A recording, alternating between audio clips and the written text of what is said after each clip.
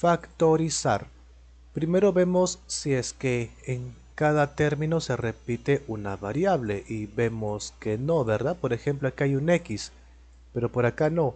Entonces, lo que podemos hacer es agrupar.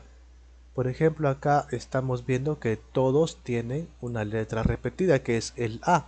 Así que puedo aprovechar y saco fuera el que se repite ahí. De acá estamos sacando un A fuera, así que queda un X. Baja el menos. De acá salió el A, queda Y. Baja el más.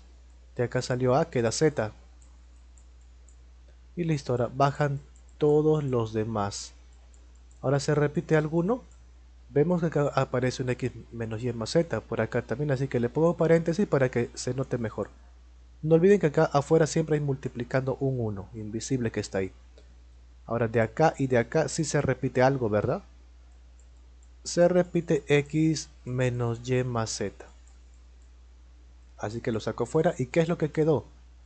De acá salió x menos y más z, así que quede la. Más, baja el más. De acá también salió x menos y más z. ¿Quién quedó? El 1 que estaba fuera.